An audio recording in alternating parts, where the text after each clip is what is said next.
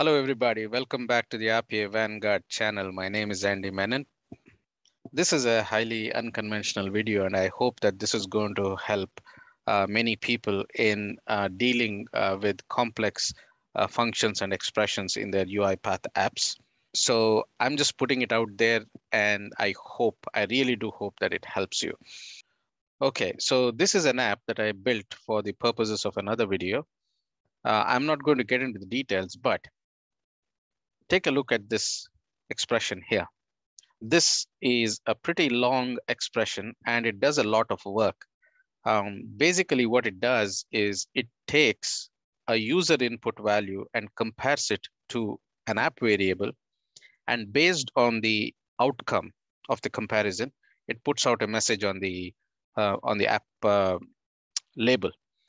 If you're going to write something like this, right, it is going to take you a pretty long time to uh, to work with uh, the app editor and come up with a function like this. Um, once you start working with apps, uh, functions, and expressions and start getting comfortable with it, uh, you will find yourself writing complex expressions that can do a lot of work in a single expression. But uh, doing that uh, using the point and click mechanism of the resource editor here is going to take some time.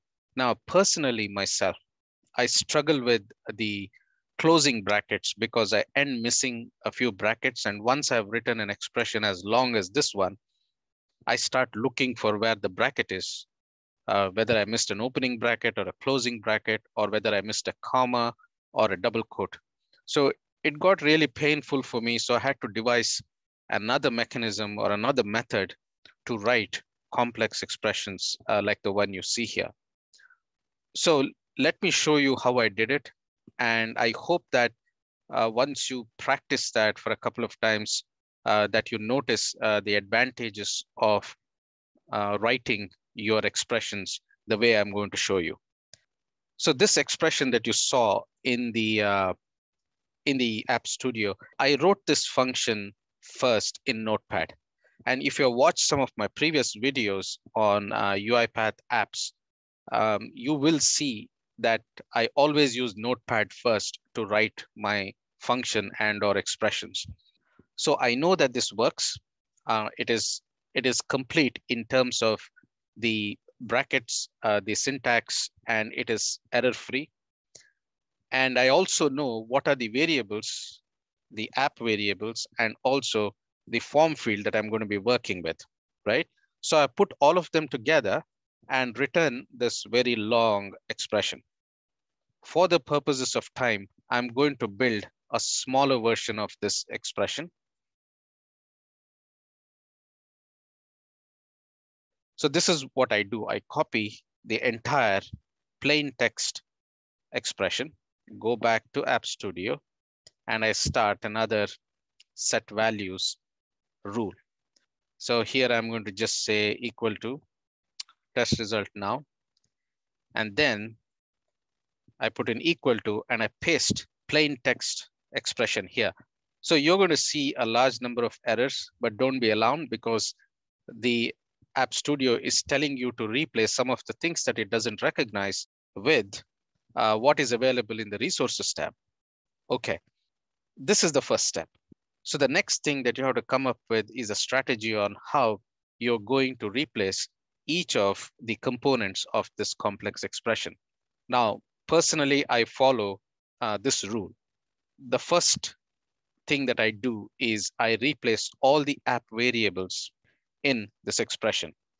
Now, why is that? That is because if I click on this a text box here, this value field, it is easier for me to pick out the app variables from this section. It is very easy because all the app variables are in one section.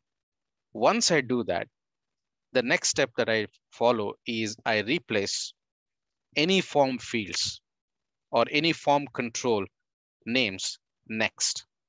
So if I go up, uh, one of the good things about this resources tab is that if you leave something open, right? For example, if you expand uh, the pages section and then you X out, you get out of the resources tab and then you come back in, you will see that it retains the position of that uh, particular section of the resources tab.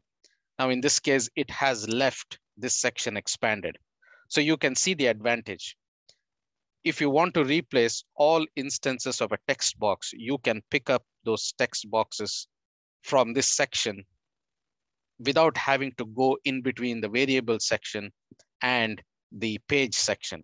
So let us say that I'm going to just follow a random pattern. First, let us say I replace txt input. I replace it by picking it up from the page section. And if I go to the variable next, I have to scroll down into the variable section, pick up the variable. And then when I go back into the text field again, I have to scroll up and pick up the variable or pick up the text field from this section. So you see you're going up and down, up and down a lot, which is not very productive. So the strategy for me is first, I'm going to replace all app variables. Next, I'm going to replace all form fields.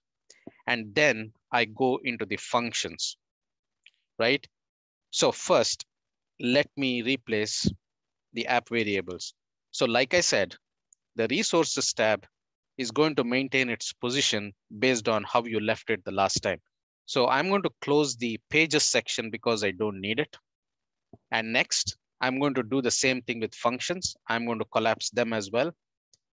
And here you can see the app variables is very easily accessible to me now. So I get out and I come back in and I click on the first app variable that I have to replace. And that is this variable here. So I click on this app variable. I see the resources tab appearing. I double click. I go down I hit delete on my keyboard, and then I pick out the variable from the app variable section and I double click. So what happens here is your text form of the variable has now been replaced with the App Studio counterpart, which is a variable named var tttm now. Similarly, I'm going to now go to the next instance of that variable. Click, double click, scroll down, delete. There's the second variable has been replaced. I'm going to turn my attention to the form input field. So now in this case, I'm going to open this section and I'm going to get out. And I'll come back in. And now my pages section is expanded and I know where that form field is, it is here. So again, the same method, click, double click, delete, and double click on the variable. That's one form field replaced. Next. And then finally, the last one here. Good. Now I have replaced all of the form field names as well. So if I scroll down now, you will see that the number of errors have considerably reduced, right? So that leaves us with the functions. So this time what I'm going to do is because I'm going to be replacing all the functions in my expression, I'm going to collapse this page section. I'm going to come down here I'm going to open up the functions section and I'm going to exit. I'm going to come back in. And this time my function section is expanded. And here again, I'm going to take a look at my functions and I'm going to replace them in the alphabetical sort order of the function names. In this case, concat appears first, if appears next, and is blank appears last, right?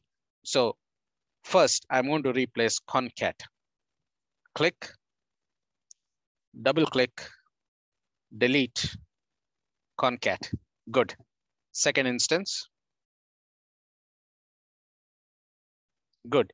So I have replaced both concat instances. Next is the if function. Click, double click, delete, and you have the first instance replaced. Similarly, the second instance.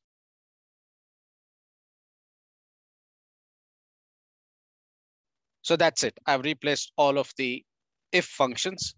Next is is blank. Click, double click, delete. And now you can see that all the errors have disappeared. And that's pretty much it. That is how I write very long and complex expressions and make them work in the UiPath App Studio.